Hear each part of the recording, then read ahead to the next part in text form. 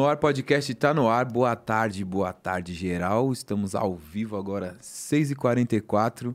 Para você que está aí em todo o Brasil, todo o universo, todo o planeta, é o seguinte: Noar Podcast está no ar e você já sabe que, se você quiser interagir com a gente, plataforma nv99.com.br/barra Noar, para você mandar pergunta, mandar salve, mandar oi, mandar tchau. Hoje teremos aqui umas conversas de mil grau muito importantes e muito emblemáticas. Por falar em emblemático, emblema, eu sei que vocês já estão ansiosos pelo emblema de hoje, porque o chat já está como? Já está pegando fogo aqui. O emblema é o NFT da nossa plataforma NV99, que pode ser resgatado em 24 horas. O Cris está se preparando para botar ali na tela. É uma surpresa, é um presente para nossos convidados que você já deve conhecer, porque, até porque a nossa convidada já esteve no Critique. Então, Cris, por favor, bota na tela. Oh, tá muito oh, fofo. que da hora. Olha ali o foguetinho, o livro, o lápis. Muito da hora. Eu achei massa. Para você quiser resgatar esse emblema, plataforma nv99.com.br barra noar, você tem 24 horas para resgatar. O código do emblema é Educação no Noar. Noar que se escreve Noir, não preciso falar de novo, né, minha família? Educação no Noar é o código do emblema. O artista é PH Freitas. PH, você apavorou, você avançou mais uma vez na arte. Deu uma valorizada na convidada, hum. né? Com massa. Gostei demais, muito da hora. Estamos aqui com ela ao vivo, Tabata Amaral. Obrigado pela presença. Muito obrigada pelo convite. Estamos aqui mais uma vez. Você que acabei de falar que já teve no Critique, já conheci aqui o, o estúdio, já conheci, conheci, o labirinto aqui, né? Isso é muito legal. Tem uma galera já como aqui no chat, já tá pegando fogo, já todo mundo já já mandando um salve, mandando um oi. Aí já estão perguntando: "Cadê o Paulo?". É o seguinte, Paulo teve um imprevisto, ficou preso em casa, não pôde comparecer aqui. E como foi um imprevisto, muito imprevisto, não deu tempo nem da gente se organizar para ele fazer online, né? Igual da vez que a gente precisou fazer online, ele precisou, precisou fazer de casa, porque ele estava, infelizmente, com Covid. Aí a gente fez em, né, em tempo real, ele estava de casa, estava aqui pelo telão interagindo.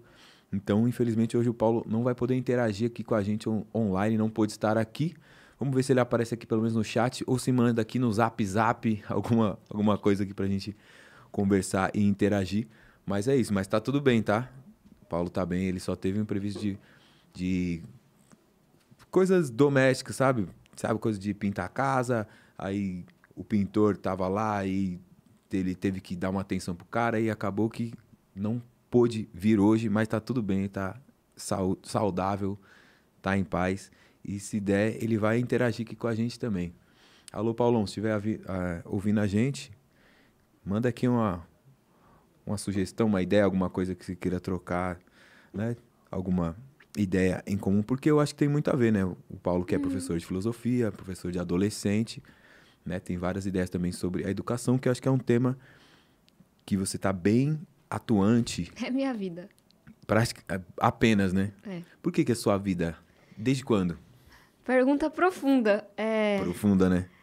Olha, acho que a primeira vez que eu me entendi como ativista pela educação, que eu entendi que essa luta era minha, que esse era o meu lugar, foi mais ou menos quando eu tinha uns 15 anos de idade. É... E vou tentar resumir essa história, mas eu venho da periferia de São Paulo, estudei em escola pública, sou filha de nordestinos, então que muito a história. Vila Missionária, cidade Ademar? Vila Missionária. Você cidade conhece? Ademar, que é é perto da cidade Perto da represa Billings, não, perto da represa Billings, depois de Santo Amaro, de Interlagos, Ah, mas antes do Grajaú, é Zona Sul. É, Sul é gigante, né? é Zona Sul é gigante, é, é a maior, né? E, enfim, cresci uma ocupação lá na escola pública e eu ganhei uma bolsa de estudos quando eu estava com uns 13 anos, muito por causa dos meus professores, e isso mudou minha vida para sempre. E aí, é, acho que é uma coisa até importante da gente falar, assim, porque hoje eu divulguei esses dias esse dado que, me, que eu acho massa, de que metade dos alunos que vêm de escola pública, que estão na USP hoje, vêm de escola pública. É a primeira vez que isso acontece na história. Nossa. Que uma escola tão elitista como a USP tenha tanta gente preta, tenha tanta gente de escola pública, tanta gente que vem da periferia. E quando eu ganhei essa bolsa na escola particular, que é uma escola bem de elite, bem cara, foi muito difícil, assim, tipo, eu tinha certeza que eu não pertencia àquele lugar, hum. eu falava de um jeito diferente, o tênis era rasgado, as conversas eram outras, eu não sabia o que era Disney, o que era museu, enfim. É, mas a parte mais difícil, mais do que me encaixar, é que eu sentia muita culpa. Porque quando você é a única pessoa de um contexto a ter uma certa oportunidade, Nossa, você sim. sente culpa. Sim. Eu sentia que eu estava abandonando a galera que tinha ficado na escola pública que eu estudava, que eu estava abandonando minha família, meus vizinhos.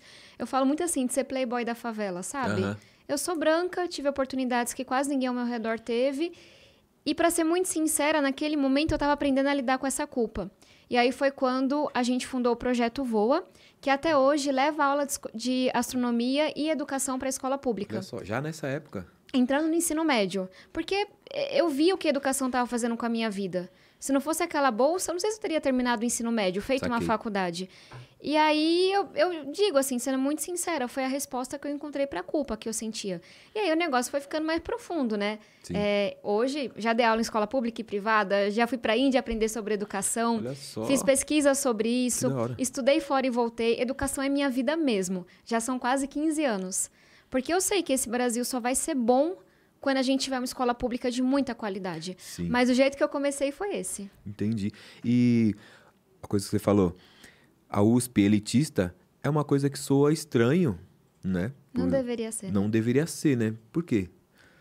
Cara, é, obviamente que a lei de cotas foi fundamental para isso, mas quando eu era pequena, a galera que vinha de escola pública não, não podia sonhar com uma USP. E eu sempre trago esse exemplo, assim. É, meu pai era dependente químico. A gente morava Nossa. em uma ocupação. E essas características, minha mãe engravidou de mim no ensino médio. A gente era meio que a, a, a turma que não deu certo na família. Tipo assim, uhum. foi muito problema. Minha mãe engravidou muito nova, abandonou os estudos, meu pai biológico não aceitou. É, enfim, muitos homens, infelizmente, não cumprem com suas responsabilidades Sim. mínimas. Aí ela conheceu meu pai quando estava grávida, mas meu pai era dependente químico. Então, um conjunto de coisas para as pessoas não darem nada pra gente, assim, sabe? A igreja tinha que ajudar muitas vezes. E eu digo isso porque eu ouvi coisas do tipo: vocês e seu irmão vão ser drogados igual seu pai, vocês não vão dar para nada. E aí, quando eu ganhei essa bolsa de estudos na escola particular, as pessoas não sabiam de onde eu vinha. E nessa escola, todo mundo falava de faculdade. Tipo, oitava série, nono ano. Nossa. Todo mundo falava o que era USP, o que era o Nesp, o que era um ITA, o que era um INSPER, um MIT, uma Harvard. E foi assim, foi tipo da noite pro dia, literalmente. Eu saí de um contexto em que ninguém sonhava nada para mim, ninguém esperava nada pra, pra minha turma, para um contexto em que todo mundo tinha certeza que eu ia fazer faculdade. Porque Sim. todo mundo daquela sala fazia faculdade. Então, para mim, a USP era tão elitista por causa disso. Porque a sociedade sonha pouco para quem vem da periferia. Tipo assim, se terminar o ensino médio já vai ser muito? É, isso aí não é para você? Então, é claro que tem todo o desafio que a gente tem que enfrentar de pegar um ônibus lotado, de concorrer com quem teve muito dinheiro, muita estrutura. Sim. Mas eu vejo que a principal barreira é o que colocam aqui dentro. Porque Concordo. falam para essa juventude que faculdade não é para eles. E aí, se não fosse por políticas como a política de cotas, Hoje a USP continuaria sendo elitista, mas isso está começando a mudar. E isso me dá muita esperança para o futuro. Nossa, sim. E infelizmente está começando, né? A mudar mais já é, já é alguma coisa. É o começo. E é um. Porque eu falo que é meio que um, um, um termo novo, né? De, assim, da USP ser elitista. É uma consciência nova, porque uhum. eu mesmo terminei faculdade, fiz a, fiz a administração no, no, na Uninove.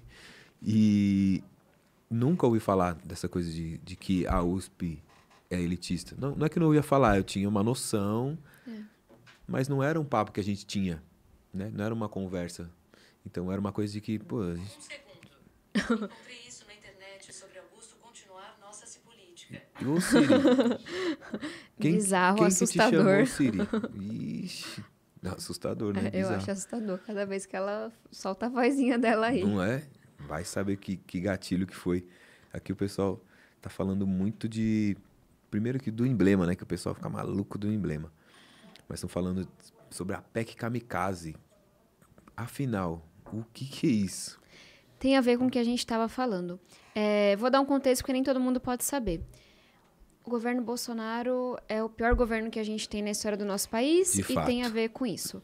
É, eu sou presidente da Frente da Renda Mínima no Congresso. O que, que é a frente? São as bancadas. Aham. As pessoas sabem que existem as bancadas da Bíblia, do boi, da bala, mas elas não sabem das bancadas que eu faço parte que tem menos dinheiro. Tem a bancada da educação, tem a bancada feminina e tem a bancada da renda mínima. E essa é uma pauta, tipo, mega importante pra mim. O Suplicy é o nosso presidente de honra, que é, tipo, Aham. é a lenda que defende a renda mínima no Brasil, o senador Suplicy. Se a gente fala disso hoje é por causa dele e eu sou presidente dessa bancada. Tô dizendo isso porque eu tô há dois anos lutando pelo Auxílio Brasil, que é o nome que deram pro Bolsa Família. Para você ter uma ideia, é, quando votou o Auxílio Brasil, eu consegui emplacar 10 vitórias no texto. 10 textinhos da nossa bancada que melhoraram muito. Aham. A gente não conseguiu tudo. Por exemplo, a gente queria que o governo acabasse com a fila do Auxílio Brasil.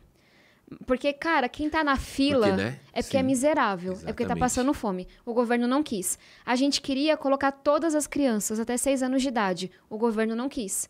E foi só, tipo, há duas semanas que eu consegui, na discussão do orçamento, 6 bilhões de reais a mais para incluir crianças de 3 a 6 anos de idade. Tô dizendo isso porque eu tenho conhecimento de causa. O governo lutou todos os dias para que o auxílio não fosse de 600 reais. Nossa. Eu poderia listar projeto que eu apresentei, emenda que eu apresentei, articulação da nossa bancada, o governo não queria. Tipo, eles preferem colocar o dinheiro na corrupção, no orçamento secreto, no ministro que tá, sabe, o pastor Gilmar lá ligado ao ministro Aham. recebendo barra de ouro, do que investir nisso.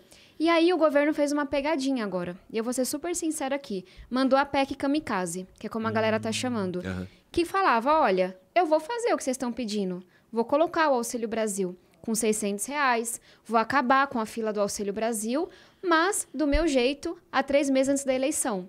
Então mandaram uma PEC super eleitoreira, que é muito irresponsável fiscalmente, porque ela não diz basicamente como isso vai ser financiado, é, então ela não, tipo, tira de um lugar para colocar ali, ela só é até o final do ano, e claramente, se o governo lutou o tempo todo contra essa renda mínima e tá fazendo agora, Sim. é porque tá apanhando nas pesquisas. E aí tinha um dilema na nossa frente. De um lado era, você apoia essa PEC, que é eleitoreira, de um governo completamente bizarro, que é super irresponsável, mas que a única oportunidade real que a gente teve de acabar com a fila do Auxílio Brasil, que é uma luta minha de dois anos, vou ser super sincera, foi o maior dilema que eu enfrentei no mandato até aqui. Que isso. Tipo, foda. E aí eu decidi que eu apoiaria uma PEC que vai ajudar esse governo que é horrível, mas que vai ajudar as pessoas que eu escolhi representar. Nem todo mundo conviveu com a fome. Eu sei o que é você não ter dinheiro para comer e os vicentinos da igreja levarem comida na sua Nossa, casa. sim. Quando veio a pandemia, uma tia, a mãe de um amigo estavam passando fome. E foi só quando a gente descobriu isso que a gente conseguiu se movimentar e garantir que essas pessoas teriam comida. Então, o que pesou no final do dia foi saber que as pessoas que vão ser beneficiadas, elas infelizmente não estão ouvindo esse podcast. Porque elas não têm tempo, raciocínio. Assim, elas estão atrás de comida, Sim, sabe? Então, elas nem vão né? saber do voto que eu dei. E as pessoas que estão acompanhando estão putas com o voto que eu dei. Porque é irresponsável, porque ajuda o governo Bolsonaro. Mas nesse dilema pesou pra mim a questão da fome. Entendi. Tem 30 milhões de pessoas passando fome e eu me vi diante dessas pessoas que eu conheço e que eu escolhi representar, sabe? O que, que eu vou dizer? O que, que significa a palavra democracia, a expressão responsabilidade fiscal, planilha, contas, estratégia eleitoral para quem está passando fome agora? Eu vou dizer, aguenta firme. Em janeiro eu resolvo o problema. Eu não teria coragem, mas foi foda mesmo. Entendi. E aí as pessoas estão criticando bastante. E eu entendo, porque o projeto é muito ruim mesmo. Quem votou a favor do projeto? Só que, tipo, da esquerda toda, do campo progressista, só Aham. uma pessoa votou contra. Talvez porque é uma área que é mais sensível à fome Sim. mesmo. Mas E- é isso. Tem essa urgência, né?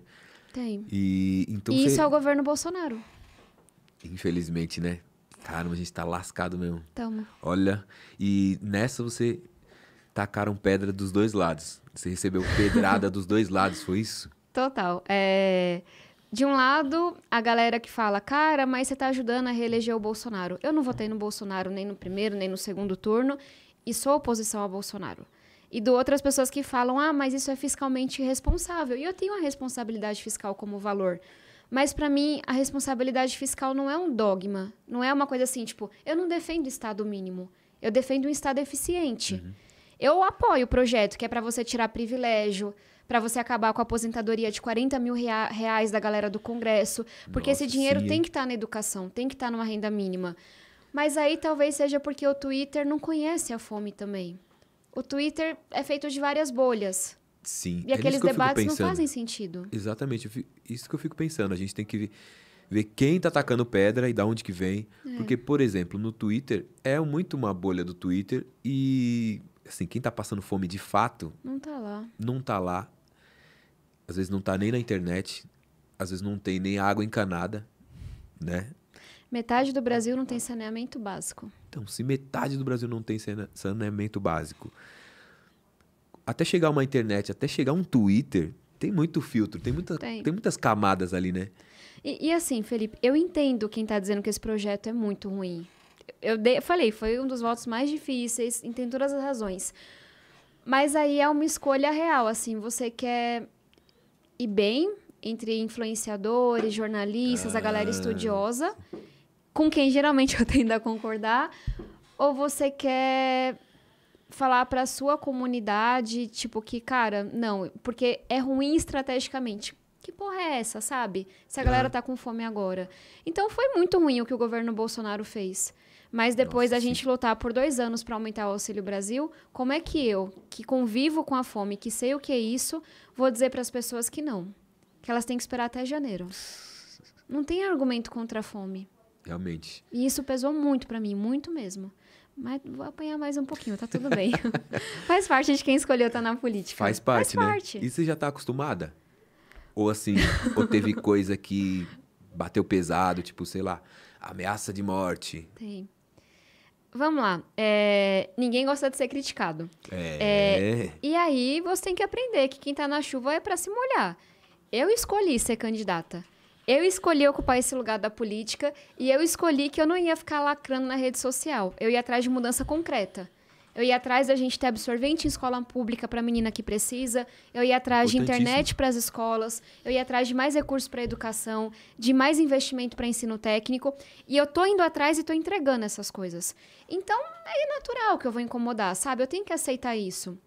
A gente já conseguiu travar 9 bilhões de reais, que é beneficiar o Centrão, com alto indício de corrupção. Tipo, eu travei. Imagina quanta gente não ficou puta comigo. Nossa. Entrou na justiça e falou, ó, estão querendo comprar ônibus para a escola, pagando mais do que deveria. A gente fez mudar a compra. Com, e eu queria distribuir kit de robótica super faturado para favorecer líder do Centrão. A gente Que foi lá isso. e atrapalhou e barrou 100%. Então tem uma galera que se incomoda com o trabalho. E aí tem umas coisas também de redes sociais. Eu falo de combate à corrupção, a galera acha que isso é uma pauta de direita. Aí fica puta. E aí eu falo de combate à desigualdade, ou mesmo nesse projeto, sabe? Que a gente tava conversando.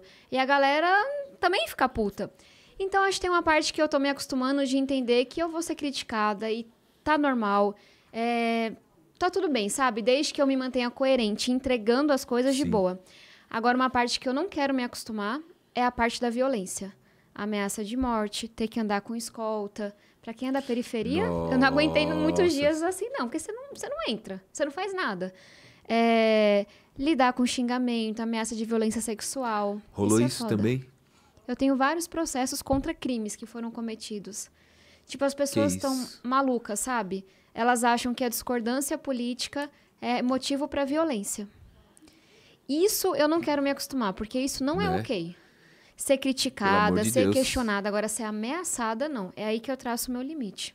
Saquei. Nossa, de fato, E né? tá aumentando Porque- a violência na política. Então as pessoas estão ficando cada vez mais malucas. Você tem esperança que ano que vem vai estar melhor? Ou você acha que vai estar pior essa, essa maluquice? Depende. É, a gente tem uma primeira missão que é derrotar Bolsonaro. Teve o caso, imagino que você viu, do Sim. cara que era bolsonarista, entrou na festa do cara que era petista fiquei- e saiu atirando. Eu, eu tive que ver algumas vezes assim, porque eu não tava acreditando no. É. Eu vi a fala do Bolsonaro e eu não tava acreditando Não, que e ele falou com os irmãos do cara que eram bolsonaristas pra usar isso politicamente. era. Nossa. Imagina como a mulher desse cara tá se sentindo agora, como os Pelo filhos estão de sentindo. E aí, tipo, gente, o presidente Bolsonaro tá dizendo todo dia que é pra metralhar não sei quem. Tipo, ele tá incentivando a violência. Sim. Sabe? Um discurso super. Assim, e aí as pessoas falam: ah, mas não importa, eu sou mulher, eu venho da periferia, estudei em escola pública. Como é que eu vou apoiar esse homem Como? um dia? É acima da minha capacidade, então não vou. Agora, pra mim, essa é a primeira missão: tirar o Bolsonaro, porque ele faz muito mal a quem é pobre. Demais. Ele faz muito mal a quem é mulher e ele não tolera que você seja diferente. Que você Sim. pense, que você questione, que você investigue um filho dele. Ele é o primeiro presidente da democracia a interferir na Polícia Federal, porque estava chegando perto dos filhos dele. Ah, Cara, sim, né? isso é muito preocupante. Demais. E aí tem uma segunda missão que responde a sua pergunta, que é: a gente vai conseguir unir o país? Porque, beleza, vamos, se Deus abençoar e o povo votar, e tira o Bolsonaro. A gente não pode permitir que um terço da população se sinta traída, não representada, magoada, porque suas razões têm. As pessoas não são fascistas, tipo, igual, sabe? Fala assim, ah, quem apoia o Bolsonaro é isso. Não é. Não é. Eu também Eu tenho vizinho, nisso. amigo, tio que apoia o Bolsonaro e que não é, são pessoas boas. Mas que sentem que estão cansadas da corrupção, que sentem que não são ouvidas. Então, essa é a missão que tá pra gente, especialmente pra quem é progressista. A gente vai conseguir Sim. unir o Brasil? A gente vai conseguir trazer pra junto as pessoas que acreditaram no Bolsonaro? Pra Então, isso, a né? gente tem que ter humildade. Entender por que, que essas pessoas estão apoiando o E Bolsonaro. dar uma desinflada no ego, né, também. Exatamente. Que isso. Porque se não unir o Brasil, a gente vai continuar em pé de guerra e a gente não vai conseguir reconstruir o Brasil. Destruíram a nossa educação. A evasão, o abandono escolar mais do que dobrou. A aprendizagem foi lá para baixo. Metade das crianças pequenas estão sabendo ler e escrever nesse momento. Então, assim, a gente vai ter que ter uma capacidade de unir, de sentar com quem pensa diferente e falar: eu te entendo, eu discordo da opção que você fez. Bolsonaro não deveria ser opção, não. Mas eu entendo a sua frustração com a corrupção. Eu Sim. entendo a sua frustração quando você diz que as pessoas se acham melhores do que você, porque pensam diferente de você. Então, essa humildade que eu não sei se vai rolar, mas eu trabalho para que role. Nossa, sim. Eu acho que era o mais importante e o mais urgente. Porque também é o que eu sempre falo. Não adianta também tirar o Bolsonaro e o espírito bolsonarista continuar, porque a gente sabe que tá aí, né? Tá A aí. gente sabe que tem muito bolsonarista que fala, ah, fora Bolsonaro, ele já passou, até porque ele passou todos os limites, né? Mas continua aquele, aquele pensamento de que, sabe, o, o ódio do, de ser povo, o ódio de povo, o ódio de, de pobre. Então eu acho perigosíssimo. E aí você falou de educação. Eu tenho um moleque de 8 anos que eu coloquei ele numa escola particular porque ele queria muito fazer robótica, tal, inglês, já. Eu falei, pô, né, agora tô podendo investir. É nerd então... igual eu. É nerd, já é. já Adoro. é Meu sonho é ter filhos nerds. pra mim, assim, quer livro? Tome. Ele é disso, ele é do livro, ele é do, do Lego. Ao mesmo tempo ele faz aula de skate. Que Ao massa. mesmo tempo faz karatê, futebol. É um moleque cheio de energia, né? Fala pra ele, é energia que dá gosto, né? Isaac. Moleque Minha doido. mãe sempre diz: é bom assim, quando a criança é levada, é animada, tá fazendo várias coisas. É. Quando tá meio amuadinho assim, já sabe que não tá bem, Aí não é tá pra, pra legal. preocupar. E aí, né, você falou da robótica, que assim, foi uma das coisas que fez eu decidir que sim, ele vai estudar numa escola que tem robótica. E aí, com a pandemia, perdemos o professor de robótica, que nunca mais voltou. Então, a gente tá vendo o que, que, que a gente faz. Mas seria muito da hora ter na rede pública, seria muito da hora ter empreendedorismo que ele tem, né? E tá muito longe disso acontecer? Sim e não. É, Porque sim falar e um não. pouquinho de sonho. É, Pernambuco é super reconhecido, tipo, no mundo todo, pelo modelo de educação integral que eles têm.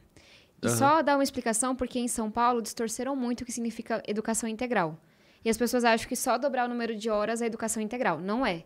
Educação integral é uma educação para o ser humano, holística. O que, que Pernambuco fez? É, é muito, assim, eu sou apaixonada mesmo, porque Pernambuco, aí Goiás e Espírito Santo, que abraçaram esse modelo, são os primeiros, no, quando a gente olha para o ensino médio, os melhores. Por que será? Por que será? Porque eles entenderam que tem que formar o ser humano como um todo. Então, você vai para uma escola, que eu já fui em Goiás, Espírito Santo ainda não, mas também em Pernambuco, e você chega lá, é tipo escola de rico. Que é basicamente o que a gente tem que fazer, né? Aham. O rico não faz natação, balé e judô, que era meu sonho como criança pobre eu não pude fazer. Você chega nessa escola, pode fazer um vôlei, um tênis, uma aula de teatro, uma aula de empreendedorismo, uma oficina de maracatu. Olha só. Você pode ter um clube de rap, você pode ter um clube de dança. Tipo, é a formação, porque você fazer uma aula de teatro, você aprende a se comunicar. Muito. Você faz um esporte, você tem foco. É isso que significa mais hoje, sabe? E aí cada aluno tem um tutor ou uma tutora, todos.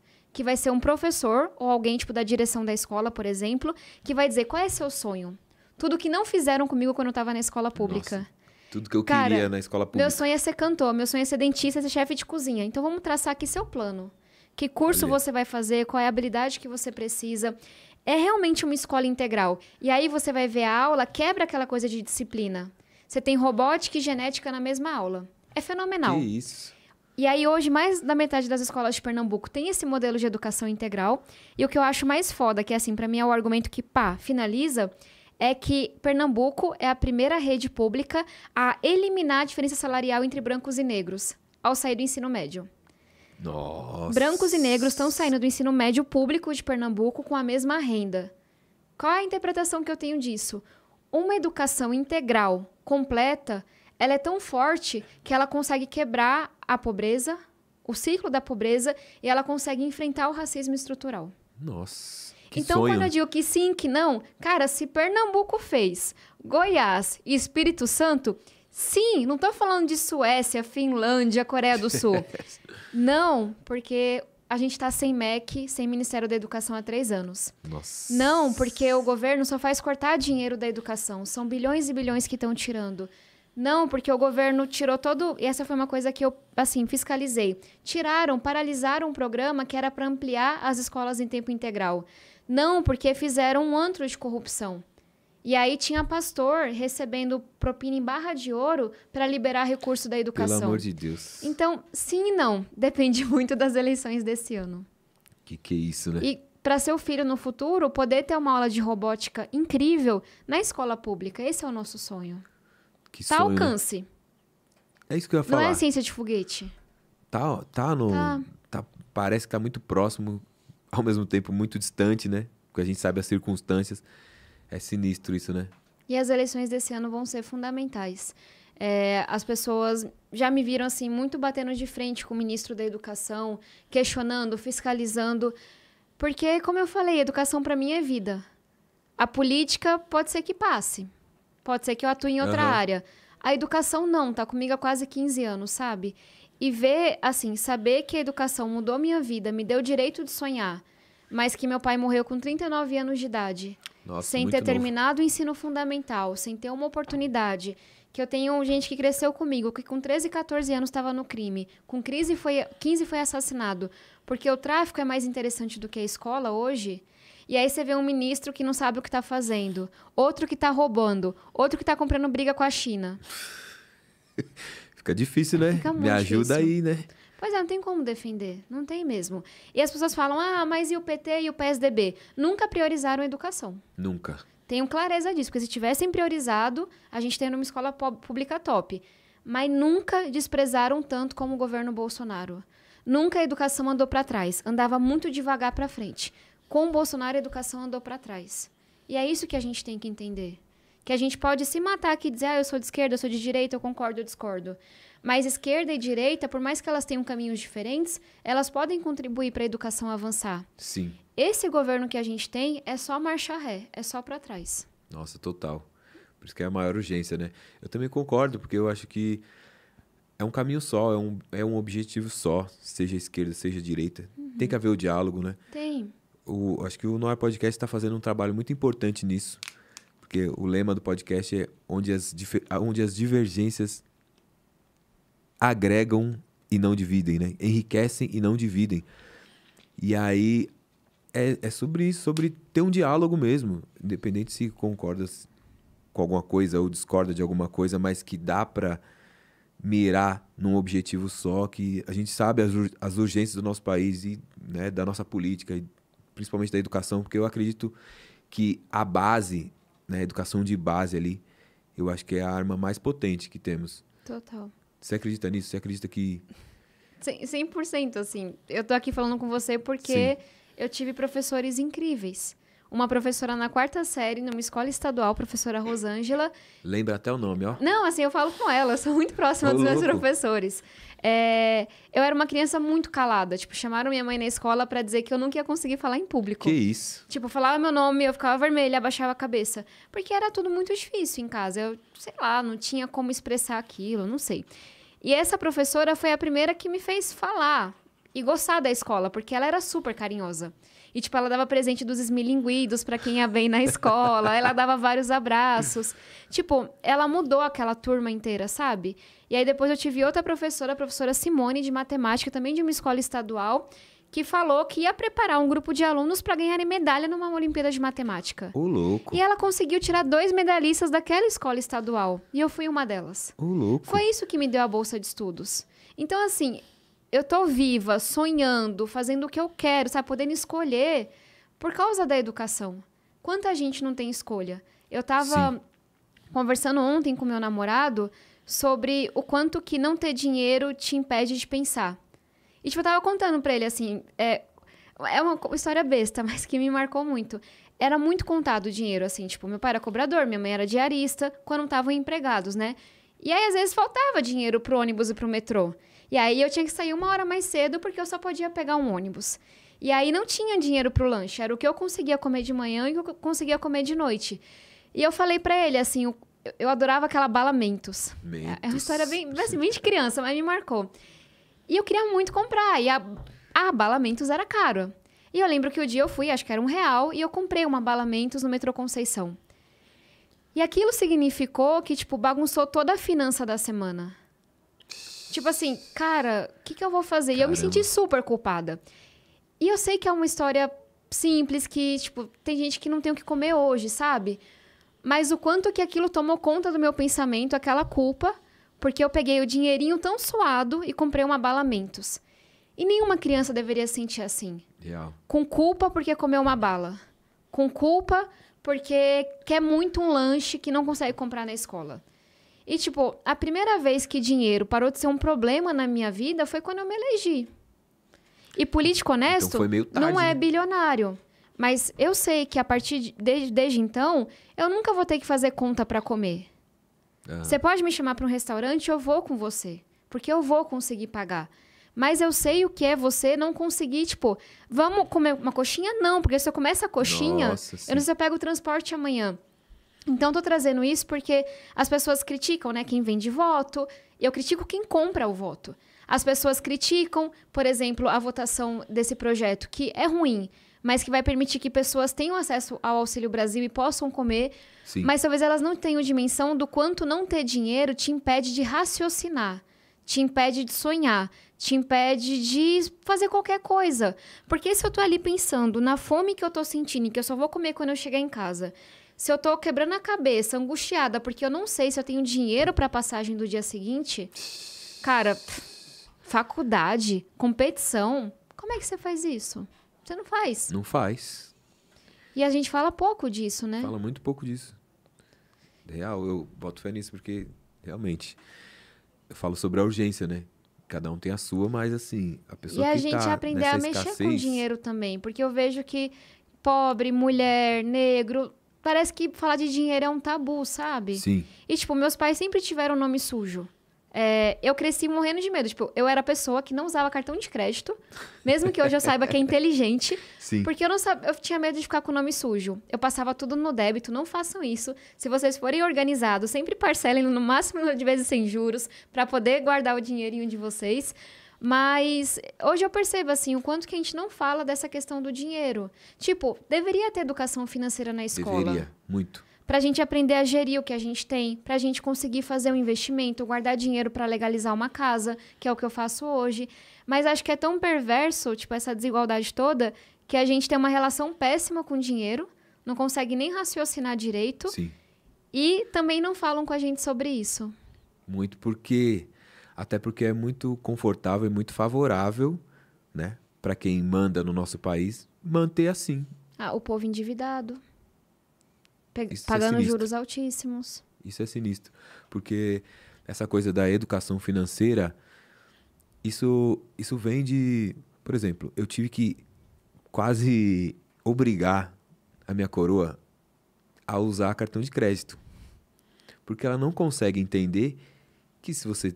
Eu sei que ela tem uma certa organização. Se você tem uma certa organização, só tem vantagens em você usar crédito ao invés do débito. Uhum.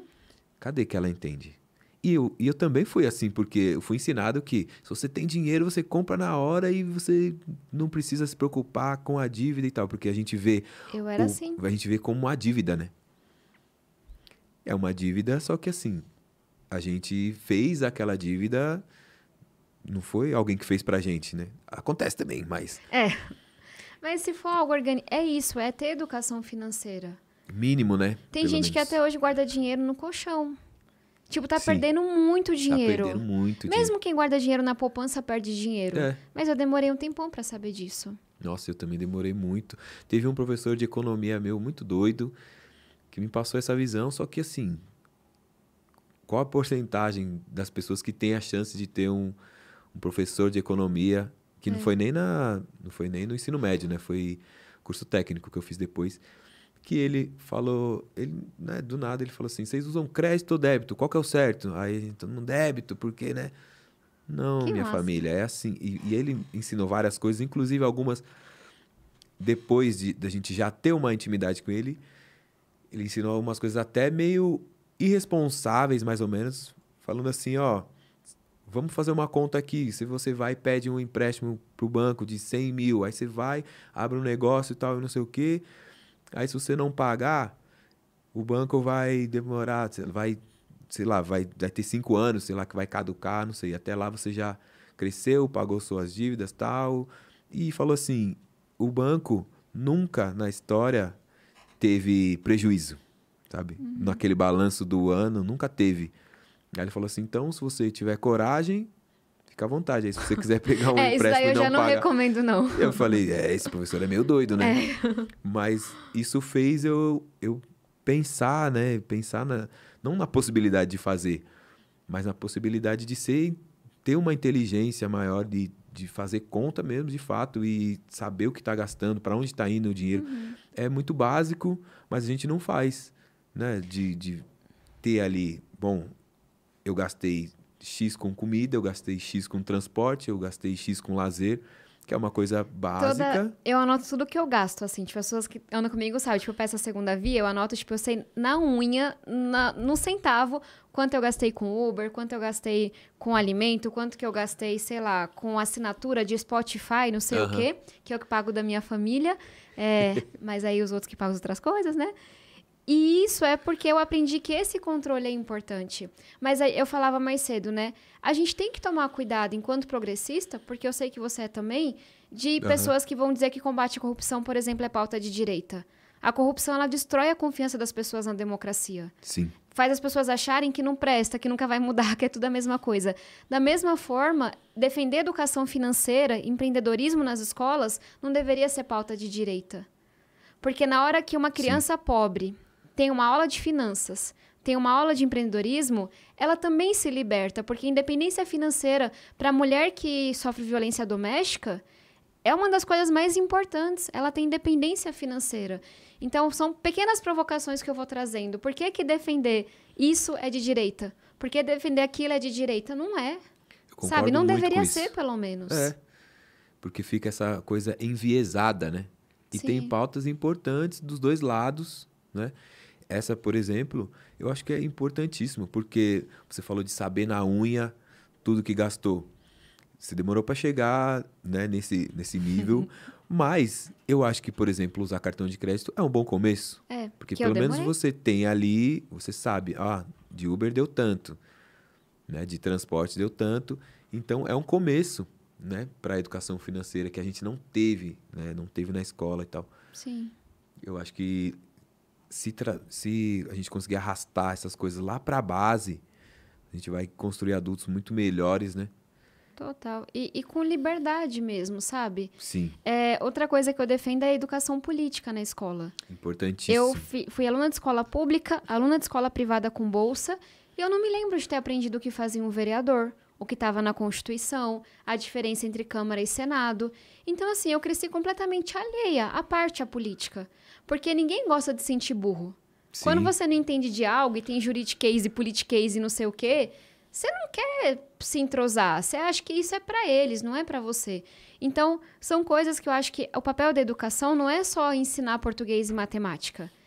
É te dar os instrumentos para você sonhar e construir sua vida com liberdade. E quem não conhece seus direitos, quem não consegue ter uma independência financeira, não vai ser livre. Sim. Porque quem passa fome não é livre. Quem não sabe o que faz um vereador também não é livre na hora de escolher o uhum. seu voto. Então, a gente falou, falou de renda mínima, né? Uma das principais razões que eu defendo a renda mínima é porque ela dá liberdade para as pessoas. Primeiro, ela dá dignidade.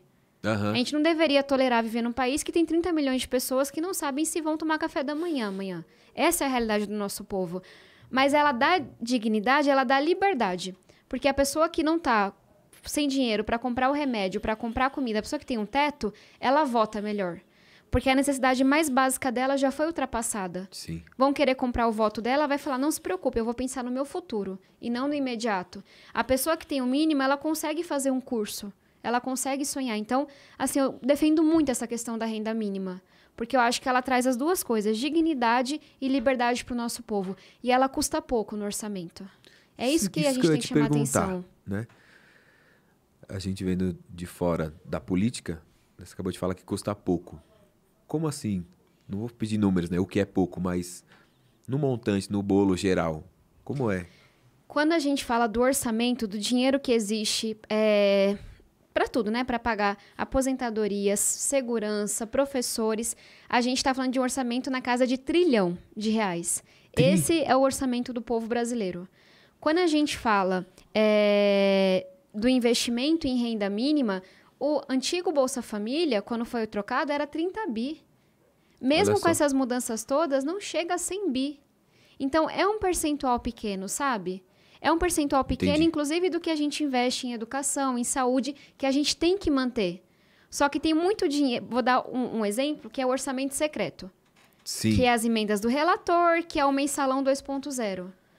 As pessoas. E, e, eu faço paralelo com o mensalão, porque quem criticou o mensalão não está criticando o orçamento secreto. Ah. E aí eu vejo uma certa hipo hipocrisia. O que, que era o mensalão? 30 mil reais que pagavam para o deputado votar junto com o governo. Quem pagava, empreiteiras e por aí vai. O uhum. que, que é orçamento secreto? Chega a 300 milhões de reais por ano. É outro patamar de outro valor. Nível. E não estou falando que corrupção é maior ou menor. Estou falando só que é muito mais dinheiro. Uhum. E quem paga é o dinheiro do povo, é o orçamento. Por quê? Tiraram dinheiro da saúde, da pesquisa, da educação, colocaram na mão dos líderes do Centrão e falaram: vocês vão distribuir esse dinheiro para o povo votar junto com o governo. Para aprovar o homeschooling e a educação domiciliar, que eu fui contra, eles deram 400 milhões de reais para os deputados. É compra de voto. E aí esse deputado fala: "Ah, mas eu estou colocando no meu município". E aí foram ver as contas, né? Tem várias denúncias. Teve um município que, de acordo com os dados deles, tinha feito 19 extrações de dente por cidadão. Era a cidade mais banguela do Brasil. Ou seja, tem muita corrupção, que meu que é amigo. Que então, é se a gente criticava o mensalão, por que, que a gente não critica o orçamento secreto? Não é? E eu digo isso porque o orçamento secreto está na casa de 20, 30 bi. Em ordem de grandeza, é o mesmo tamanho da renda mínima. Então tem dinheiro para orçamento secreto, mas não tem dinheiro para o povo comer, para o povo ser livre, para as pessoas terem acesso a uma moradia, sabe? Então, dinheiro tem. Só que a gente tem que comprar briga com gente grande. Sim. Tem uma coisa chamada super salário. A Constituição fala qual é o salário mais alto do serviço público. É mais ou menos 40 mil, que é uhum. o, o salário do ministro do STF. Aí foram burlando, burlando, burlando, fizeram algo ilegal e imoral. E tem gente no judiciário que recebe salário de 400 mil reais. Que que é isso? Tem dinheiro, mas é briga com gente grande. Sim. A gente conseguiu aprovar um projeto para acabar com isso na Câmara, mas o Senado ainda não teve coragem de aprovar esse projeto. Nossa. E você não tem medo dessa briga de gente grande? Porque, né? Assim, eu sou bastante corajosa. é eu tenho um pouco de receio porque eu já recebi ameaças, porque eu sei que as pessoas estão malucas. Mas querendo ou não, a visibilidade ela também te dá um pouco de proteção. É. Vou usar o português bem claro. É, Deus me livre, guarde, me proteja e abençoe, mas me matar tem um custo alto. E acho que as pessoas também estão vendo que eu não tô ali para brincar, eu não tô ali para lacrar. Tipo, as pessoas acharam, ah, a Tabata é uma menina. Elas ach- Muita gente acha isso até hoje, né? Porque eu tenho um cara de menina. Tem. Mas eu, eu falo, né? Eu já tenho 28 anos. Só que as pessoas achavam que eu ia ficar no baixo clero, que eu não ia conseguir fazer nada. Só que eu respeito. Um amigo meu, Felipe Rigoni, uma vez me falou a seguinte coisa: quem escolhe o seu interlocutor na política é o eleitor, não é você. Quem elegeu meus colegas merece respeito. Então, comigo não tem essa de não sento, não converso, não falo. Eu posso detestar as ideias de uma pessoa. Eu posso odiar tudo que ela defende, mas eu vou respeitá-la, porque alguém elegeu ela. Então, eu converso com todo mundo. Ah, eu tenho um projeto na educação. Quem concorda, vem junto. O que a gente discorda, a gente briga depois. Aham. E foi assim que a gente conseguiu lei de conectividade, 14 mil escolas conectadas no leilão do 5G, distribuição de absorvente em escola. Foi dialogando com as pessoas, sabe? Então, eu tenho receio, porque as pessoas estão malucas, mas eu acho que o trabalho que a gente está fazendo e o conhecimento, de certa forma, protegem também. E eu tenho esperança que as coisas vão mudar. A gente falava da USP. Não é possível que essas pessoas que estão saindo da USP, os primeiros da sua família, os primeiros negros, os primeiros pobres, que eles não vão estar na política daqui a pouco, sabe? Que eles não vão estar num espaço de poder numa empresa, numa ONG, num escritório de advocacia. Isso vai mudar, eu tenho muita certeza. Eu tenho muito essa esperança. Não tenho muita certeza. mas tem essa esperança, né? Porque a gente tem que passar por cima de muita coisa, né? Porque mesmo com essas pessoas saindo da USP, pode ser que aquele preconceito lá que tá enraizado, enraigado, pode ser que às vezes seja uma. né, lá na ponta pode influenciar alguma coisa. Eu acho cabuloso isso aí. Ó, quero dar um, um recado pro chat. Quem quiser mandar pergunta, mandar salve, mandar oi. Plataforma nv99.com.br barra noar. E aí você adquire uns Sparks, que é a moeda da plataforma. E você pode interagir aqui com a gente. Tem uma galera aqui. O chat tá pegando fogo, viu, minha família? E estão falando aqui. Fala ainda, né? Fala sobre a PEC Kamikaze. Tá atrasado. Já falou. Já falou Duas vezes. duas vezes. Cadê você na hora de obstruir a votação da PEC Kamikaze? Oh, meu Posso Deus. responder só isso? Nem todo mundo teve essa coragem, mas eu fui uma das poucos deputados que assinou o requerimento para postergar a votação, porque a gente queria pressionar o governo para mudar o texto. E vocês podem checar, isso é público, tá online. Todos os votos de obstrução, eu votei a favor da obstrução. O que é obstrução? É você dar uma atrapalhada na votação. É você adiar, atrasar, Aham. porque você ganha espaço para negociar, para derrubar uma parte ruim, para mudar. Então, todos os votos de obstrução tiveram meu apoio, podem checar. Então, aí tá a resposta. Obrigado pela resposta. É, fa- é, tá online, Né? as pessoas podem checar. É isso. Aí tem algumas pessoas que já já já responde por você aqui no chat, tá bombando. Tem de tudo aí. Tem de tudo. Vou nem tudo. olhar isso. Oxe, Mas aí, livre. falando sobre educação e fazendo, falando sobre educação lá na base, que é a coisa do básico, do ler e escrever, que pra gente que tá aqui na internet, no Twitter, no podcast, é uma coisa muito distante. Uhum. Mas isso, isso implica, isso diz muito, porque assim, né?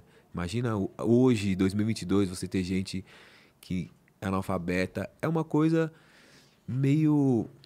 Assim, a gente que mora em São Paulo aqui é meio Indignante, né? né? É uma coisa que eu não consigo engolir. Mas, por exemplo, teve um caso que veio à tona, que eu acho que é muito importante falar, que, por exemplo, o caso Luva de Pedreiro. Luva de pedreiro. Eu fiz um posicionamento sobre isso. Fala um pouquinho disso, porque eu também, pô, não dá pra falar assim, ah, ele moscou. Né? Pessoal, não sei se todo mundo viu, inclusive nas minhas redes sociais eu botei o vídeo, comentei. Luva de pedreiro, talento nacional. Receba, é nosso brasileiro.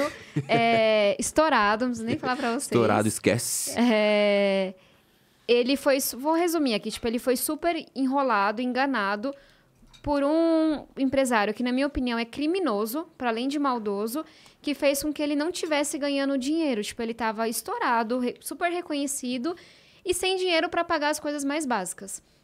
E aí fizeram uma reportagem com ele, acho que foi a Globo, e perguntaram, tipo, cara, você não leu o contrato?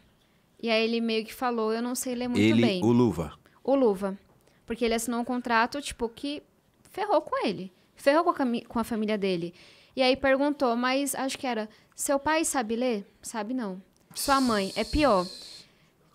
Aquilo acabou comigo. Nossa, eu também fiquei indignadíssimo. Porque, tá- tipo, ele tá lá top, né, na casa dele. é. Acho que é até em Pernambuco. Ah, é? É, eu acho que era em Pernambuco. É, tá, tipo, super bem, não sei o quê. Cara, ele é muito talentoso, ele é muito desenrolado. Eu tenho certeza que ele já superou essa e isso não vai acontecer de novo. Mas você vê, né, que mesmo uma pessoa talentosa como ele, com acesso à internet, redes sociais, foi colocada pra trás e perdeu um dinheirão e levou uma rasteira porque nunca aprendeu a ler e escrever direito. Olha Tipo, só. porque não teve educação. E aí eu fico pensando, cara, e as pessoas que não são Luva, que não têm visibilidade, que não têm esse talento que ele tem, sabe? Sim. Tipo assim, que as pessoas ficam apaixonadas, elas estão se lascando. Porque elas estão pegando empréstimo Todos os abusivo, elas estão pagando mais do que deveriam, elas estão assinando contratos que fazem muito mal a elas, que tiram um pouco de dinheiro que elas têm. E a gente tem que entender que educação é vida, sabe? Tem, tem um dado que sempre eu, inclusive eu, eu apareceu falando sobre isso no Jornal Nacional, porque ele é chocante. Um economista fez um estudo, quem terminou o ensino médio, quem não terminou. Felipe, quem não terminou o ensino médio vive quase quatro anos a menos. Que que é isso? Tem mais chance de ir para criminalidade, de ter uma doença grave, de ter um trabalho ruim, de ser infeliz. Eu trago esse dado que é chocante, porque eu acho que, como o caso do Luva de Pedreiro, ele fala assim: gente, educação não é firula, não é bonitinho. Na hora que uma galera não. Você, obviamente, tem exceção, isso é só a média, a estatística. Mas não terminar o ensino médio significa que você vai viver quatro anos a menos. Olha tipo, isso. é isso e que a não educação cigarro faz. ainda mais menos 10 anos já junta 14 anos. E é tudo relacionado, porque a Sim. pessoa ela vai ter menos acesso à prevenção na saúde, ela vai ter menos dinheiro para se cuidar, ela vai se alimentar pior. Tipo, é uma. Como se fosse uma bola de neve mesmo É um mal. efeito cascata, né? Pelo amor de Deus. Só pra gente entender que, assim, quem faz o que Bolsonaro fez com a educação, quem despreza a educação, não merece o nosso apoio. Seja você de esquerda ou de direita, essa pessoa ela tá condenando uma geração a viver menos. Ela tá condenando uma geração à morte. É muito grave o que tá acontecendo. Porque parece que a educação Gravíssimo. é algo bonitinho. É bonitinho, é lindo. Mas é, é profundo, é sobre a gente ser uma sociedade justa e desenvolvida. É sobre nossos jovens poderem sonhar, poderem viver. E isso está sendo negado a eles. Pelo amor de Deus, né? Não, e eu vi gente questionando o, eh, o, o Luva tá morando numa casona e tal, porque tem gente falando assim, nossa, trabalhei a vida inteira, não tenho uma, uma casa dessa e tal. Não a vai... gente não lida muito bem com o sucesso dos outros no Brasil, Exatamente. não. Sinto informar essa realidade. Porque, assim. Você acha cara, que é uma coisa de brasileiro foda. isso? Eu acho que é. Eu não sou filósofa. A gente vai ter que pedir ajuda aos universitários aí. é, não sei a razão, mas pelo menos assim, eu morei nos Estados Unidos por quatro anos, eu fiz minha faculdade lá. Eu, me parece que a gente tem vergonha de sucesso. A gente tem que ter vergonha Sim. da desigualdade. De muita gente que tem dinheiro só porque nasceu em família rica, só porque é herdeiro, só porque é branco, só porque é muita coisa. Isso a gente tem que ter ranço. Agora, a pessoa que nasceu lascada, que se fez, a gente tem que celebrar. Mas eu sinto que as pessoas não gostam do sucesso dos outros. E aí tacam pedra no Luva de Pedreiro, tacam pedra na Anitta, tacam pedra em todo mundo que se que fica conhecido, Aham. que é bom. Aí tem que aprender a celebrar a vitória dos outros. Né? Mas não sei de onde que vem isso. Minimamente. Também não sei. Aí depois a gente pergunta. E eu, eu, eu ia, ia te perguntar lá no começo da sua fala se você achava que o empresário do, do Luva fez isso por, por um mau caratismo mesmo, por ele ser um borra-botas, ou se era uma coisa de crime mesmo, uma coisa criminosa. Eu não estudei direito, é, então eu não sei dizer, tipo, é certinho. Mas me parece que você usar é, de uma, tipo, uma posição que você tem vantagem, sabe? Ah, ele não sabe ler direito. Você explorar um vulnerável, porque é vulnerável, me parece que isso é crime. Agora, eu não sei te dizer qual é o processo, mas eu acho que ele tem que processar o empresário dele. Até para ele não pagar a multa que estava lá. Porque para mim é claro que é uma situação, pelo menos a lei tende a encarar assim, né? Se tem uma pessoa que está sendo explorada porque é vulnerável, porque não tem a capacidade de se defender daquela situação, essa pessoa é responsável, essa pessoa é criminosa. Então que ele é um grande do mau caráter está claro para todo mundo. Mas eu acho que tem essa questão de, olha, era uma pessoa vulnerável. E você abusou, explorou por saber que ela era Sim. vulnerável. No caso, por não ter acesso a dinheiro, não ter tido uma boa educação. Sinistro, né? Que que é isso? O Brasil é- não está para amadores. Não está. Hum, E ele é de Pernambuco mesmo? Então, me falaram que era, que ele mora. Meu namorado é pernambucano. E ele tava contando vantagem, pra ser muito sério. Ele falou: Não, porque eu acho que o Luva é daqui.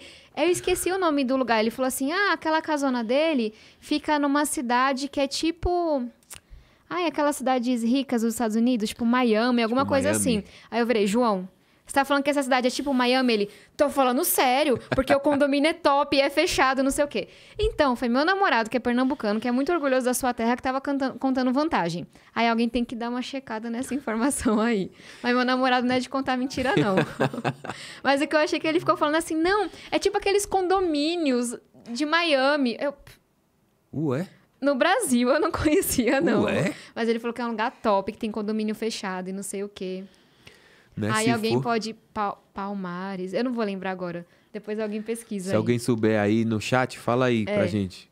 Ou se o, se o Cris conseguir dar uma, um search, vamos ver. Pura curiosidade, viu? É, eu só achei engraçado ele contando essa vantagem toda. Pernambucano é, um- é um bicho muito orgulhoso da sua terra.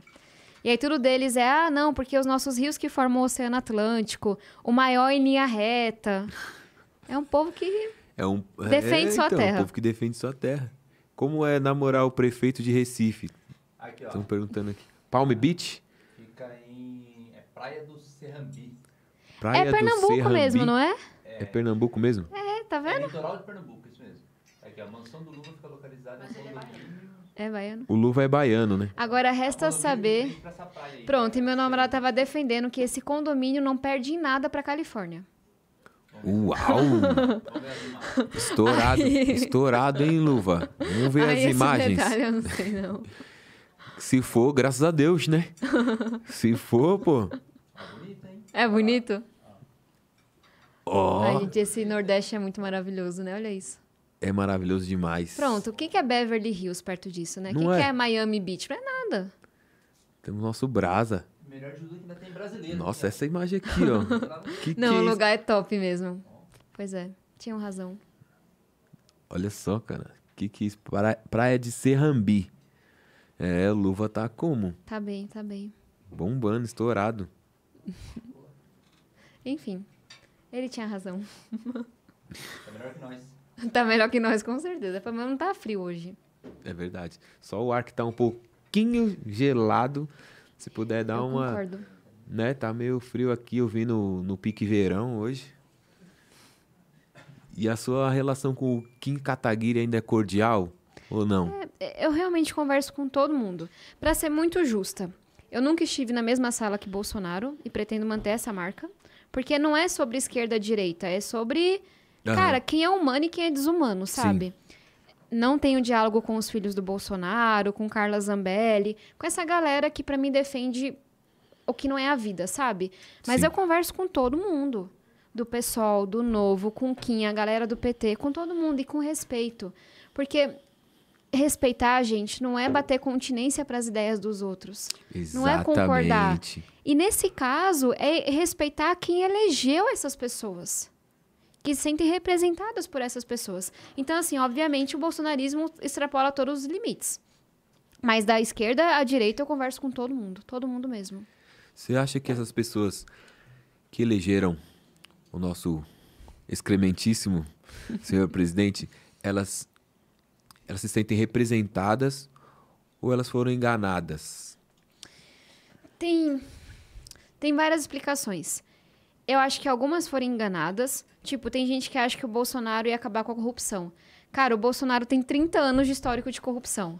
Valdo açaí, rachadinha, pegava o salário dos, dos funcionários dele, dava a nota falsa para pegar reembolso da Câmara. Nossa. Assim, o homem é a corrupção em todos os seus tamanhos, ele e seus filhos. Mas talvez as pessoas elas não conhecessem, né? Elas viram um discurso que ele estava com o Moro, que ele era contra a corrupção e acreditaram naquilo. É, mas eu acho que uma parcela votou, sei lá, por raiva, por ódio. É, e aí de tudo, assim. Uma parcela que não. Aí acho que é uma parcela pequena, mas que não entendeu que o Brasil mudou. que Aham. hoje a gente está lutando por mais espaço para mulheres, para negros, para LGBTs. E acho que uma parcela maior só votou porque estava muito puta com o PT, para ser muito sincera. Tava cansada da corrupção, tava cansada do que foi, enfim, o que aconteceu na economia. É, e aí achou que o Bolsonaro poderia melhorar isso, né? E aí a gente ficou com o pior de todos os mundos, porque o Bolsonaro tá detonando a nossa economia. Olha a Sim. inflação, desemprego, tudo. Para mim, é o governo mais corrupto da história. Eu dei o exemplo do orçamento secreto. E é um governo que ataca tudo, que ataca mulheres, que ataca gays, que ataca educação. É, então a gente ficou com tudo que era de- pior, sabe? Sim. Mas eu acho que tem muita razão para as pessoas terem votado. É por isso que eu acho que a gente tem que ter humildade. A gente pode detestar Bolsonaro, eu realmente detesto. Mas a gente não pode não respeitar quem votou nele, na minha opinião, e tentar entender as razões e falar assim, meu amigo, eu te entendo. Mas esse não é um caminho. Esse não é o caminho. Esse caminho vai Vamos te por levar caminho. vala. Porque esse caminho fez com que a gente tivesse praticamente 700 mil mortos na pandemia. Esse caminho destruiu a nossa economia. Esse caminho levou a uma corrupção absurda em Brasília, sabe? Maior do que todas que a gente teve antes. Então acho que a gente está no momento de ter humildade e falar, ó, isso não dá. Talvez você não concorde com o que a gente consegue colocar no lugar agora, mas isso não dá. De fato, né? Na pandemia, é, eu sei que chegou em todos todas as nossas famílias, né? Você chegou a pegar Covid?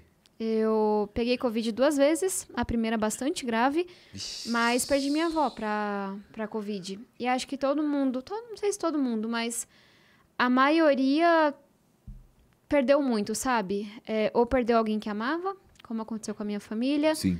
ou perdeu o emprego, é, ou perdeu a possibilidade de estudar, ou perdeu a casa em que morava. Foi e tá sendo muito sofrido para as pessoas, né? Real. E aí teve, a gente teve que se adaptar a novas realidades tal. Principalmente escola, homeschooling, né? Queria que você falasse um pouco do que, que você acha, do que, de como chegou isso, né? Cara, é, acho que só sobre o que foi a pandemia, né? A gente tem um dado do, do Data Favela que mostrou. Pega a molecada que mora em favela. Metade não estudou durante a pandemia. Muitos porque não tinham internet. Olha aí. E a gente lutou, e inclusive eu fui a pessoa que escreveu a versão final desse texto para levar acesso a tablet e internet para 18 milhões de alunos pobres. E aí, Eduardo Bolsonaro e companhia começaram a me chamar de Tablet Amaral. Pronto. Quinta série, é ganhou nóis. até o apelidinho da quinta série. Beleza, me chamam, chamam de deputada absorvente, tablet amaral, batata amaral. Nossa. Só coisa Por que nível. batata, mano? Tabata. Ah. É. Tipo assim, Ah, quando eu é- tinha sete anos de idade. É. É, e aí, tipo, se fosse até aí, tudo bem. Só que eles. O governo vetou o nosso projeto, entrou na justiça contra o nosso projeto e o dinheiro tá chegando só agora nas secretarias. Olha. Sendo que poderia ter chegado dois anos atrás. Então, assim, quando a gente fala de educação durante a pandemia, a maioria não teve. Ou teve de baixíssima qualidade. A gente realmente andou muito para trás. É, homeschooling é outro assunto inteiramente diferente. Porque é, o que que é homeschooling? É você não ter professor. São os pais que vão dar aula para os filhos é, que vão, enfim, garantir Ah, toda a aprendizagem. É, e o governo, por alguma razão, alguma fixação, essa é a única pauta que eles defendem na educação. E aí, qual é a provocação que eu trago? Chuta quantas famílias praticam homeschooling no Brasil? Putz, sei lá. Em porcentagem? Número, assim, quantas. Putz, É, é pequeno. ideia. 7 mil. Ah, não. não é no Brasil possível. inteiro, tem 7 mil famílias que praticam homeschooling. Eu trabalho com projetos que impactam 50 milhões de alunos, que é o número de estudantes aproximados que a gente tem no Brasil. O governo, é, isso é essa coisa do Twitter, né? Pegou uma Sim. pauta que é polêmica, que dividia, mesmo a maioria da população sendo contra, a esmagadora maioria, e falou: essa é a minha pauta da educação. E aí, depois de muito tempo e contra o meu voto, liberaram 400 milhões de reais para comprar o voto dos deputados, aprovaram o homeschooling na Câmara. E aí, qual que é a minha preocupação? É um libera geral. Eu sei que essas famílias, assim, eu jamais faria com os meus filhos, né? Primeiro que você tem que ter muito dinheiro e formação para conseguir fazer isso. Segundo, porque a escola não é só sobre matemática e português. Aham. É sobre aprender a lidar com diversidade, é sobre brincar, Exatamente. é sobre fazer um esporte, é sobre fazer uma cultura. Então, eu jamais faria isso para os meus filhos. Mas qual que é a minha preocupação? Não são essas famílias que querem fazer por razão X. É todo mundo que vai pegar esse texto para se esconder atrás dele e acobertar violência sexual, estupro de menores, trabalho infantil. Então, assim, eu sou durona. Mas no dia da votação eu chorei saindo do plenário. Ô, louco. Porque eu já trabalhei várias vezes na minha vida com exploração sexual infantil, projetos que olhavam para essas crianças para tentar resgatá-las. Inclusive, tem um projeto que eu apoio hoje que trabalha com crianças que foram abusadas sexualmente. Não tem nada para me destroçar mais do que isso. Eu sou uma pessoa super da paz, assim, mas toda vez que eu trabalho com uma criança que foi estuprada, eu tenho os piores pensamentos sobre aquele estuprador. Para ser muito sincera, sabe? Acaba comigo, assim, vontade de matar aquela pessoa, porque, e, tipo, eu não defendo pena de morte, eu acho que as pessoas elas podem, têm que cumprir sua pena, etc. Mas é uma criança. Me dói Sim. muito pensar que aquela criança passou por aquilo. E quando aprovou aquele texto, eu falei, cara, vai ter gente usando homeschooling para que seu filho que é abusado ou sua filha não vá para a escola. Porque a maioria das denúncias acontece na escola hoje. Aí aquilo acabou comigo. Nossa, eu não tinha pensado nisso. Não É. tinha feito essa. E de novo, Relação. não tô falando que quem faz homeschooling é estuprador. Eu tô falando Sim. que estuprador vai se esconder atrás disso pra a criança não denunciar. Sim, dá pra entender isso. Cabuloso isso, né?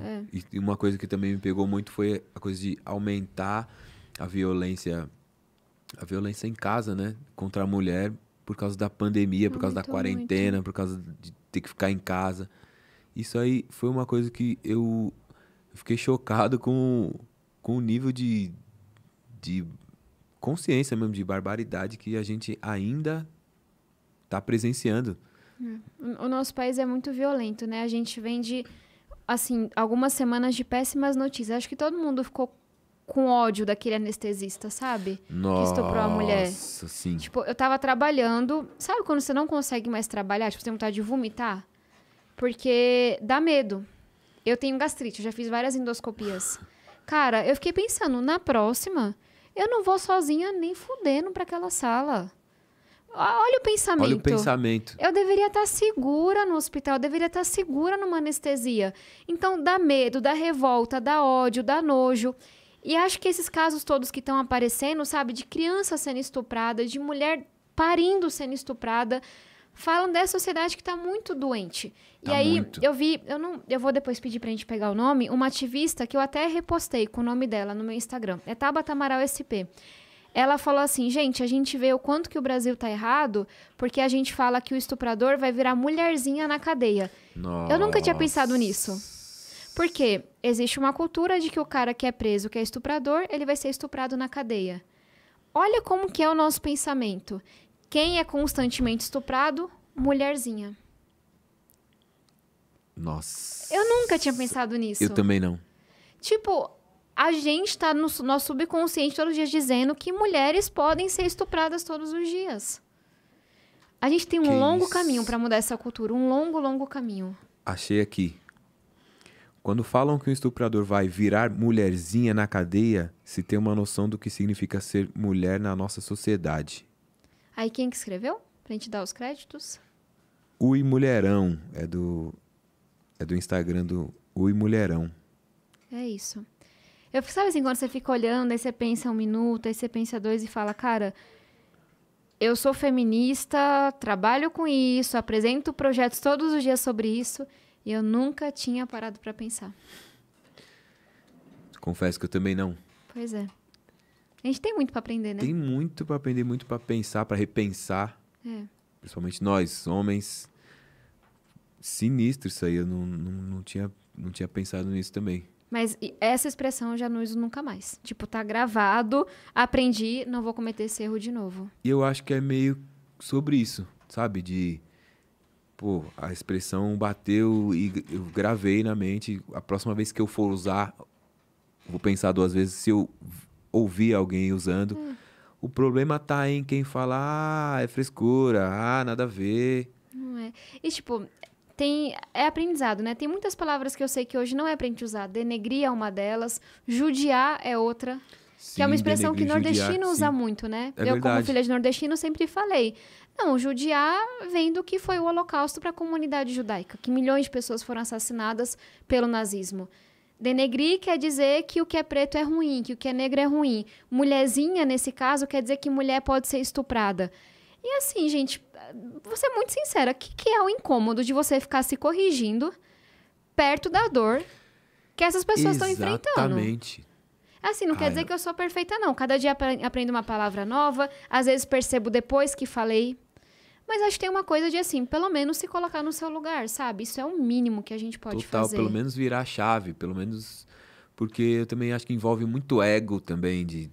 Sabe? Não querer dar o braço a não torcer, querer dar o né? braço a torcer. Aí se prende num- numa narrativa contrária, que é, ah, é frescura, e, ah, é não sei o quê.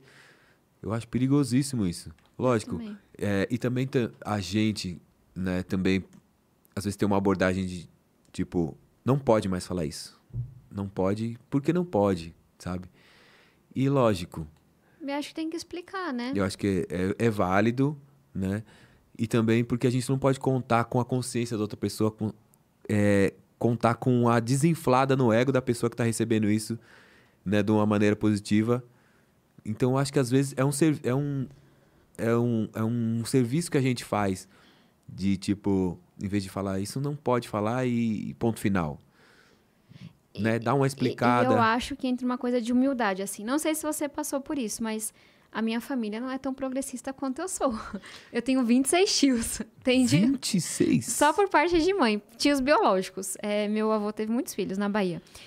Cara, é, eu lembro, assim, quando eu me entendi progressista, eu na faculdade, eu cresci é, numa comunidade muito religiosa, nordestina, super conservadora.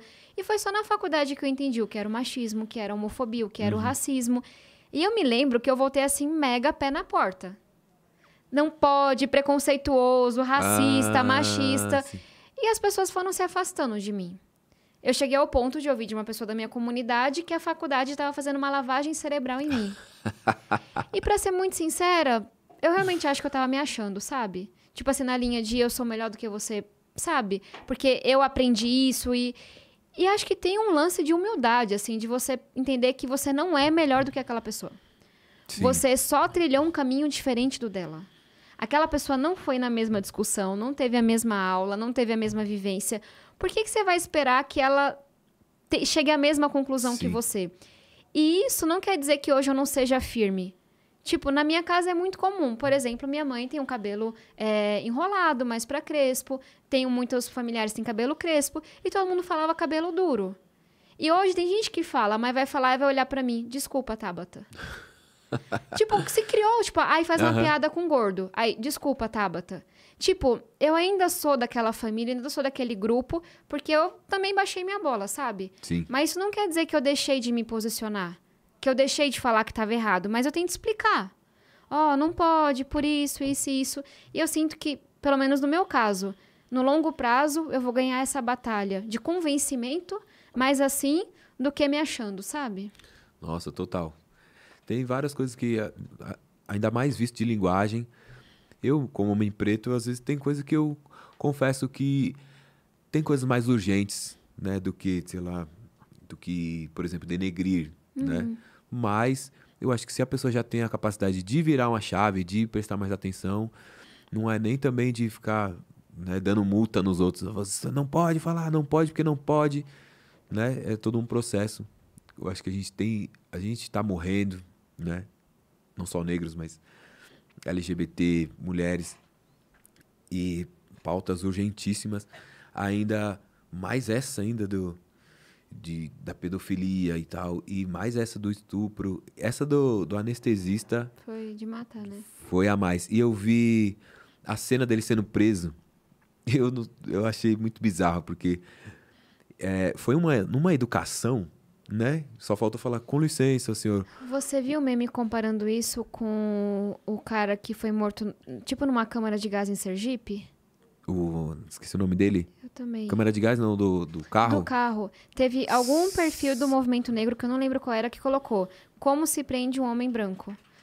Senhor, o senhor acaba de estuprar uma mulher, mas a gente tá aqui sendo educado. Senhor, o senhor está sendo pego. é, temos um flagrante aqui do senhor estuprando uma grávida. Você pode nos acompanhar? É. E o cara de Sergipe, que tinha uma doença grave em relação à saúde mental, porque tava andando sem capacete, colocaram ele no fundo da viatura e mataram ele com gás.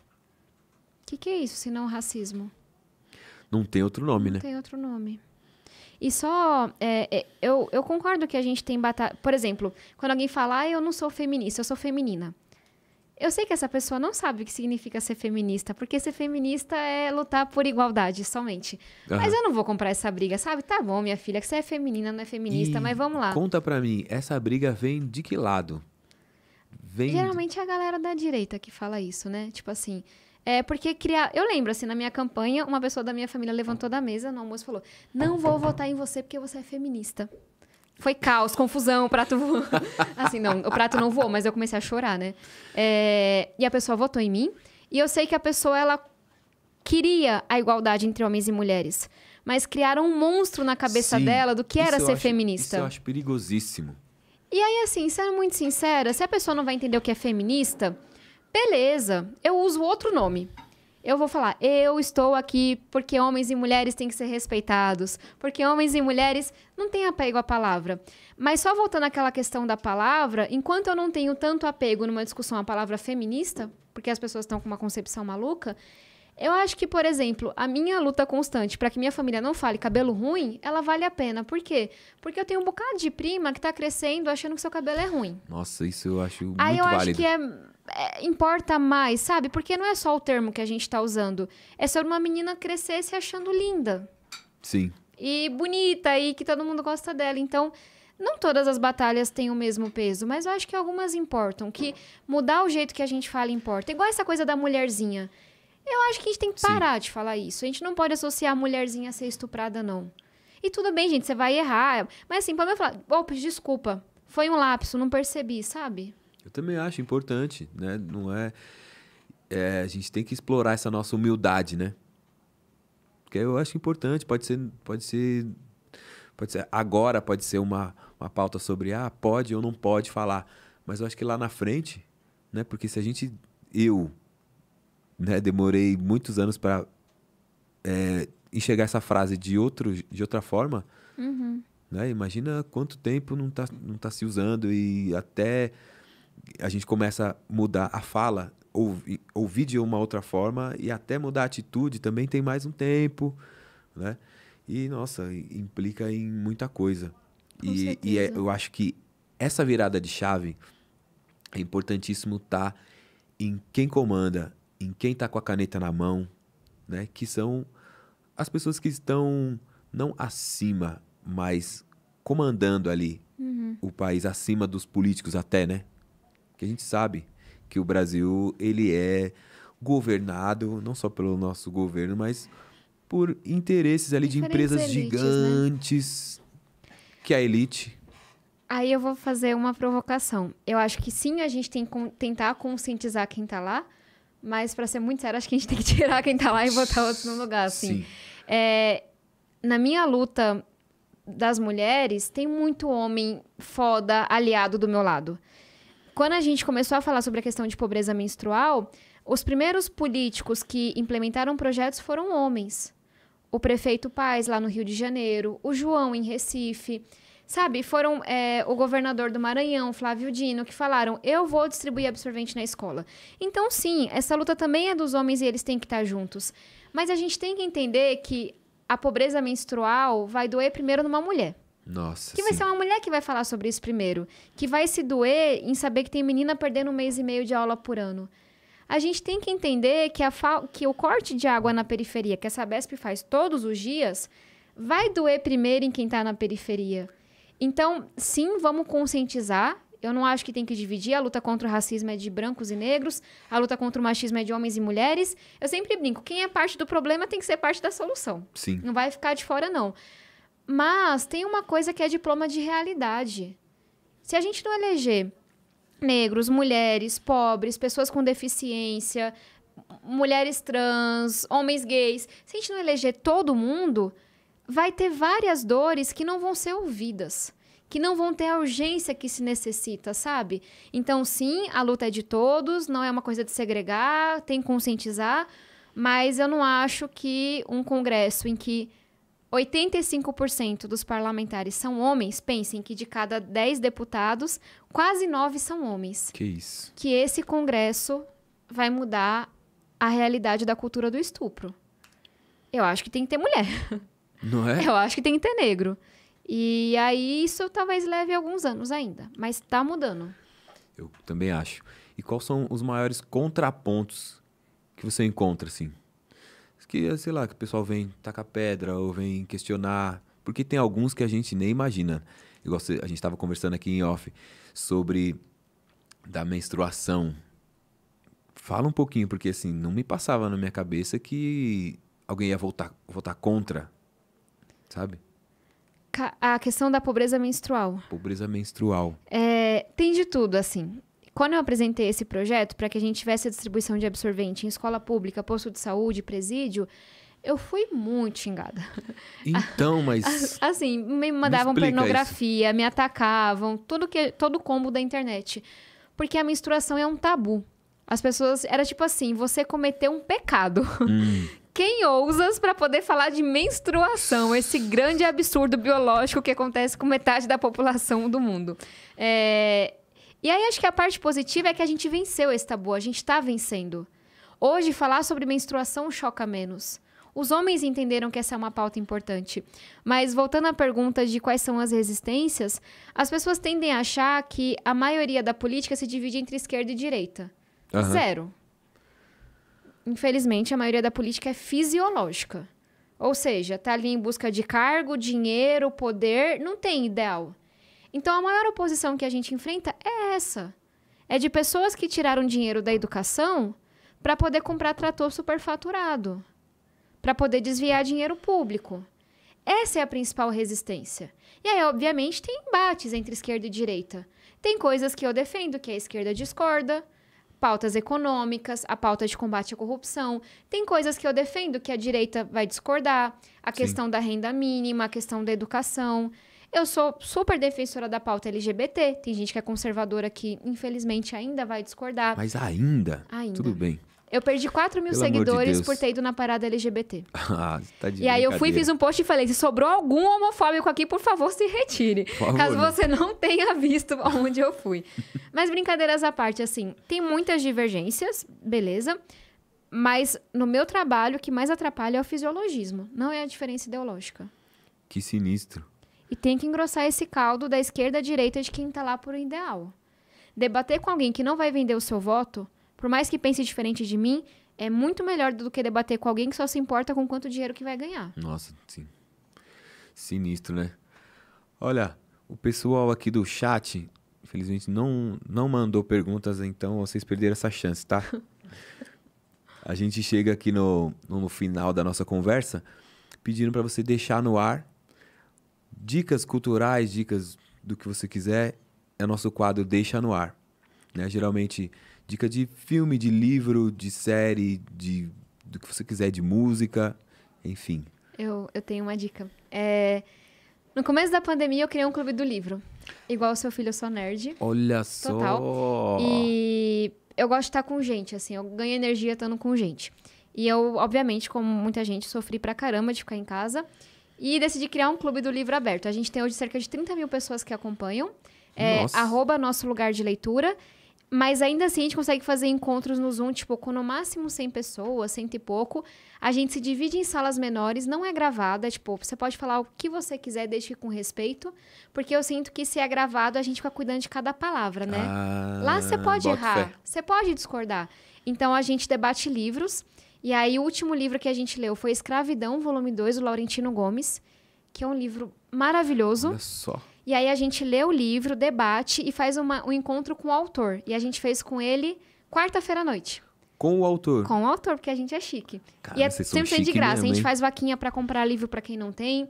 Então a gente já encontrou a Lilia Schwartz, o Laurentino Nossa. Gomes, um professor de Harvard, professor Sandel. É outro patamar, é, é top. Ô, louco. E aí, o próximo livro que a gente vai ler é da minha autora favorita dos dias de hoje, que é a Chimamanda Adichie, que é uma autora nigeriana.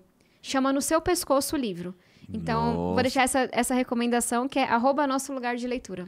Merchan, Arroba- mas é de graça. Arroba nosso lugar de leitura. Eu queria que você deixasse esse, pelo menos esses dois livros que você citou. E esse último também. Me interessa, meu pai é nigeriano, tal. Sério? Me interesso muito pela cultura também. Essa é a minha autora favorita. Esse é o único livro que ela já escreveu que eu nunca li. Meu livro, já que você tem um, um filho pequeno, meu livro favorito dela é para. Como que é? Como educar crianças feministas. É Olha desse que tamanhinho, louco. é maravilhoso. Tudo que ela escreve é genial, é ficção, geralmente. Aham. Nossa, você vai adorar ela. Shimamanda Nossa, sim. Adichie. Sim. Caramba, zica, hein? Ela é top. E de série? Você tem acompanhado alguma coisa? Eu não sou tão boa de série. Mas. Ah, eu vi uma que eu adorei. Atypical. Atypical. Ah, ouvi falar, é mas de não assisti. Um, um rapaz que ele é do espectro autista. E você chora, dá risada. Eu aprendi muito com a série. É muito boa. Foi, acho que, a série favorita, assim, que eu vi nos últimos anos. Olha Então, só. eu vou deixar essa de recomendação. Vocês estão anotando, minha família? Mas mandem pra mim também, porque toda hora que senta pra ver o Netflix é um- uma hora pra escolher, né, o negócio. eu acho isso muito difícil. Ah, eu sempre tenho uma listinha. É muito difícil. É. Eu, já, eu tenho uma listinha também no bloco de notas, assim, ó. Lista de filmes. E aí eu vou. Ah, eu quero ver o El Castelando. Elvis, que vai estar no cinema. é, verdade. Dia né? 14, eu acho. E vai sair um filme também, é, The Woman King, ou The King Woman. Vai sair, acho que falta um tempinho, em setembro, que é a história de uma rainha africana que foi escravizada no Brasil. Mas é um filme americano. Olha só. Falaram que vai ser, assim, estouro mundial também. então que são fil- os que eu tô... E filmaram aqui, né? Não sei. Será?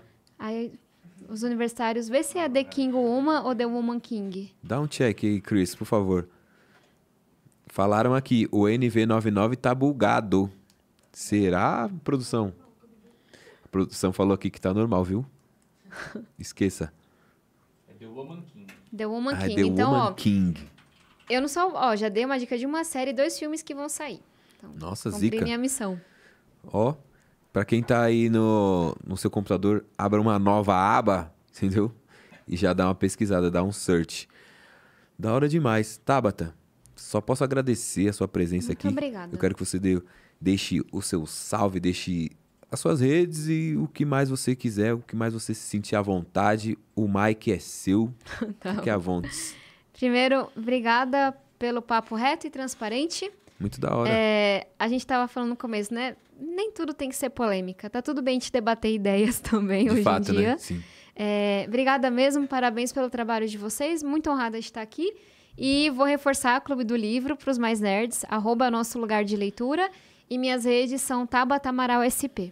Acho que é isso. Muito prazer.